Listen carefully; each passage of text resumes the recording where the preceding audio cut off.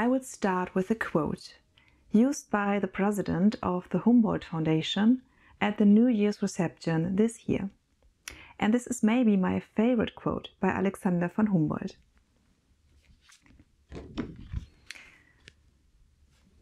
The unveiling of truth is unthinkable without the divergence of opinions, because the truth is not recognized in its entirety at once and by all at the same time.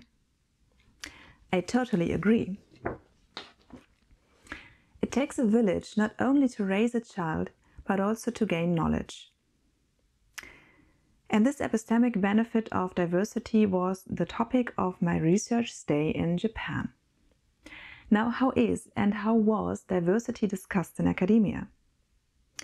For example, the racism from which our society suffers today reaches back to academic debates of the 18th century.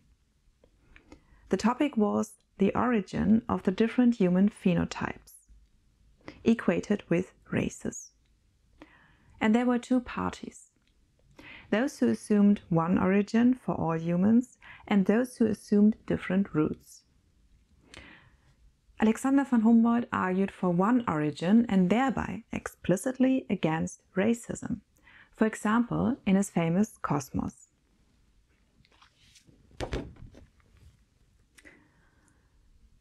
By asserting the unity of humanity, we also resist any unfortunate assumption of higher and lower human races. His brother Wilhelm likewise took a stance against racism, for example in his writing on the diversity of human language construction. He writes, However different humans may be in size, color, body shape and facial features, their mental abilities are the same. The opposite claim has probably never been made seriously and out of impartial conviction, but only out of sheer greed for profit and ridiculous pride in color. Wilhelm defends the assumption that we are one family. The diverse languages which we speak set us apart, but the general ability to use language unites us as one family. Language combines common terms or ideas with the individual perception of the world to form a coherent whole called Erkenntnis or knowledge. And here we reach a limitation of language and translation because actually I cannot translate the German term Erkenntnis.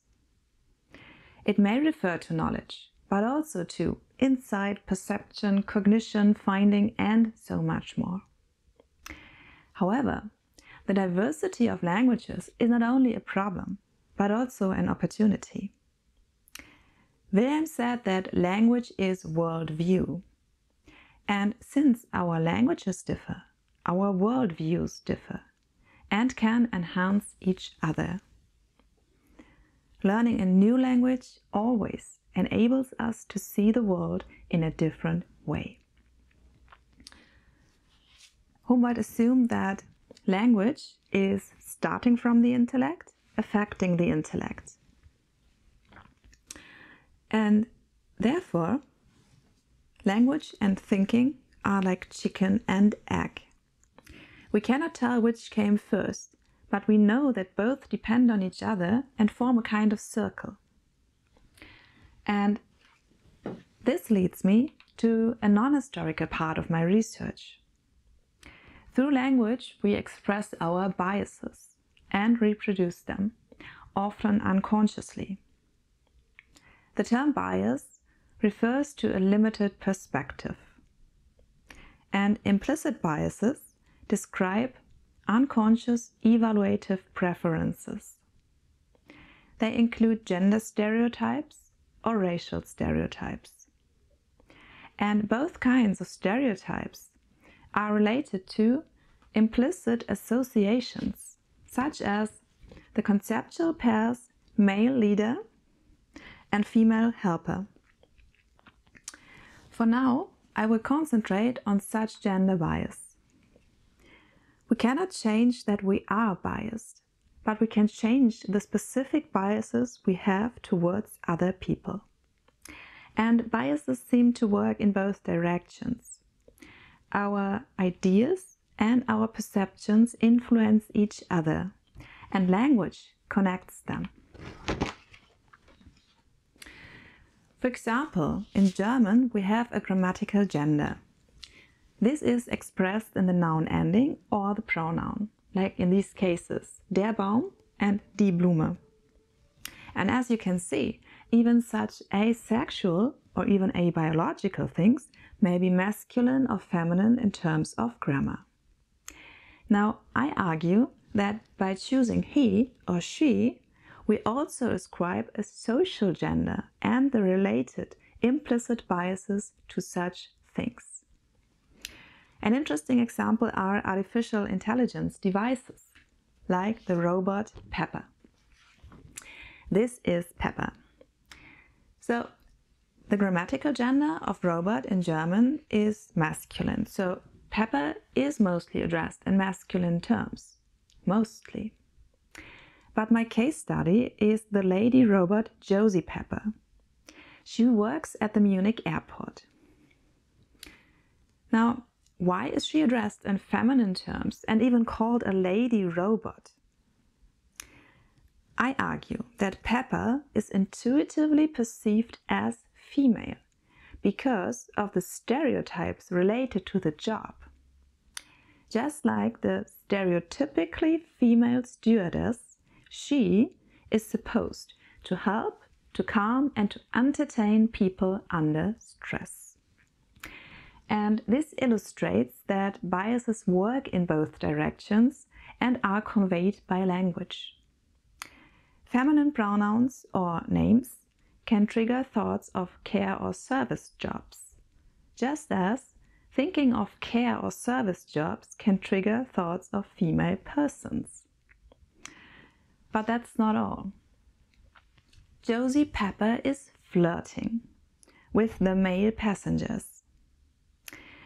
What might seem cute in the first instance is exactly the problem. What do we communicate, for example, to our children by programming her to flirt, while her male colleagues don't, and they don't. She is nice and attentive to our needs, but we don't have to take her seriously. She's a helper, not a leader.